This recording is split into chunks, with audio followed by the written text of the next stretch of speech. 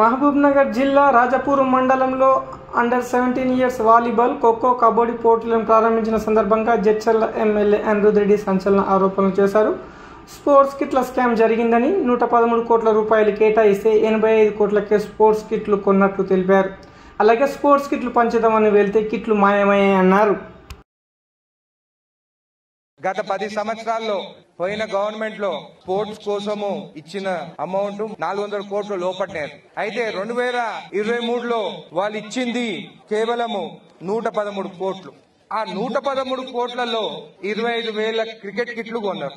ఆ ఇరవై ఐదు వేల క్రికెట్ కిట్లు ఒక్క కిట్టు ముప్పై మూడు వేల రూపాయలు కొన్నారు. ఒక్కసారి ఆలోచించండి. క్రీడల కోసం కూడా అలాట్మెంట్ అయిన పైసలని కూడా ఇట్లా అవినీతిగా దోచుకుంటే మళ్ళీ పిల్లలకి క్రీడలో కింది లెవెల్ వరకు మీకు కిట్లు వస్తాయని చెప్పి మిమ్మల్ని అడుగుతున్నాను. అయితే నూట పదమూడు కోట్లలో ఎనభై ఐదు కోట్లు పెట్టి క్రికెట్ కిట్లు కొన్నారు. మా ఇరవై ఐదు వేలు క్రికెట్ కిట్లు ఎక్కడ పోయినాయి? నేను ఇక్కడ తీసుకొద్దాం అనుకున్నా. నేను పోయి ఒక కిట్ ఇస్తే ఆ స్కూల్కి ఇచ్చొద్దామంటే ఆ కిట్లు కూడా కనిపిస్తలేవు. పదివేలు లోపట ఉండే కిట్లు ముప్పై మూడు వేలు పెట్టి రెండు వేల ఇరవై మూడు ఎలక్షన్ టైంలో గత ప్రభుత్వంలో కేసీఆర్కి సన్నిహితుడైన పల్లా రాజేశ్వర రెడ్డి ఎనభై మూడు కోట్ల కుంభకోణం చేశారు.